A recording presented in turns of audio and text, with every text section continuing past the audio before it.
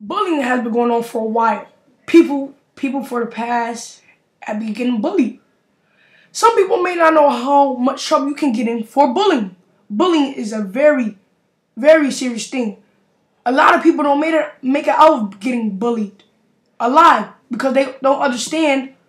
They don't understand what's right from wrong. Bullies, bullies, I, I should say, don't understand right from wrong, what other people go through, so they decide to pick on them.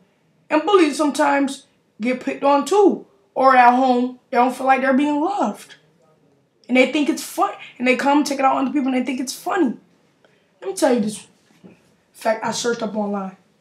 Suicide is the third leading cause of death among young people, resulting in about 404,000 deaths per year, according to the CDC. 10 to 14 year old girls may be at even a higher risk for suicide, according to the study CDC above. According to the, sti- the st- statistics, Start that. Start that line again. According. Start it again. Just say it again. According, according to, to the statistics, sta- statistics. statistics, say it again. according to the statistics reported by ABC News, nearly 30% of students are either bullies or victim or victim of bullying.